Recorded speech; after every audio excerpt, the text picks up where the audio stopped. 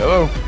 I'm here about the receptionist job. Hi. Abby, we spoke on the phone. We did, Hello yeah. there. Okay. You're hired. Kevin, he's a big dumb puppy dog. It's a Ken doll with the inside scooped out. Kevin.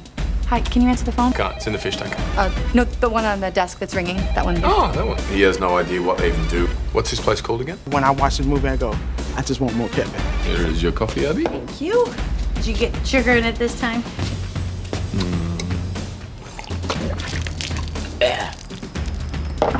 I hate coffee. Yeah, the sugar's in it. Sugar's in it. Waste. Chris Hemsworth is a huge comedic talent. Seriously, there's no way that you're this sweet, this funny, this fine. That's just not fair. He's so funny. He's such a funny improviser. Can I ask why no no glass? They just kept getting dirty, so I took them out. Kristen and I were fully crying. We were laughing that hard because of what Chris was talking about. And so then it became a character thing for him. Don't listen. I won't. he covered his eyes. Kevin thinks he's going to become a Ghostbuster too. We need to form a group and build something to fight these damn ghosts.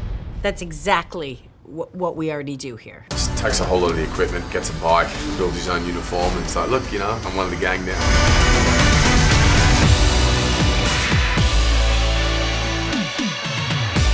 Kevin to throw together a couple of logos for us.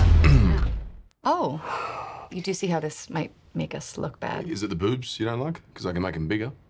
Ah.